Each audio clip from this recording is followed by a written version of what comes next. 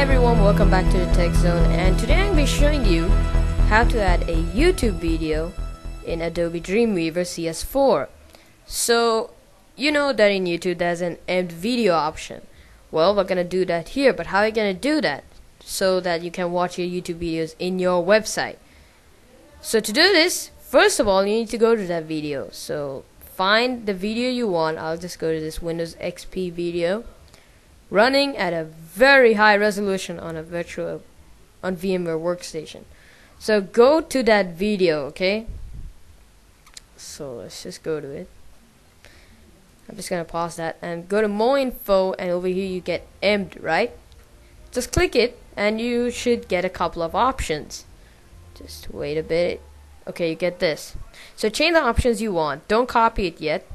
So plain HD, of course I want that and I want it at 560 by 340 or okay 640 by 385 doesn't matter.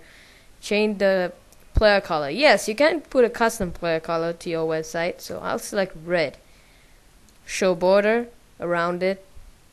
And uh, well that's all there is to know. So once you're done it will update the embedded code and you're gonna select it copy that and now I want it under this text. So press enter go on a blank space. Now on the coding make sure it's on split. On the coding just next to this um, greater or less sign I'm not sure. Between the less sign and the and sign you're gonna paste that code.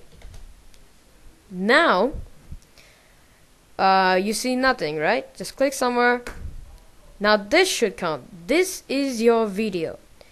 Let's test it. Previewing Chrome, yes. Right down here. There is your video with a custom nice color and just click play.